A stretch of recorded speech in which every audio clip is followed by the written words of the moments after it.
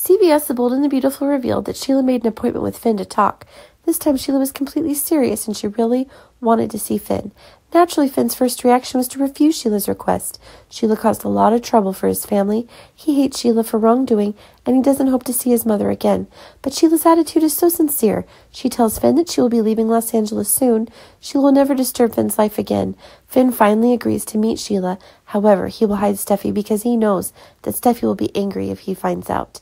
Steffi really hates Sheila. She almost died under Sheila's shot. So Steffi can't wait to send Sheila to prison. Finn understands Steffi's feelings, but no matter what Sheila does, the fact that she is Finn's biological mother cannot be changed.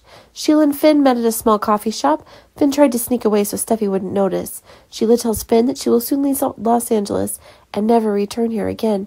Sheila will go to the city of Genoa and settle there. Sheila also apologizes to Finn for what she did. Now, before leaving, Sheila has only one small wish, which is to go out with Hayes. Sheila begs Finn to bring Hayes to her, after which Sheila will accompany Hayes to the amusement park. It will be a beautiful memory for Sheila to have Hayes by her side. Finn thinks Sheila is lying to him to see Hayes, but Sheila shows Finn the plane ticket. Finn took it to confirm that it was indeed a flight to Genoa and that the buyer was Sheila. Finn is a bit regretful that Sheila will be leaving here forever. Will he allow Hayes to see Sheila again?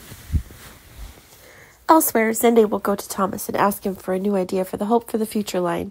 Zende is also a designer, but his experience is not equal to that of Thomas.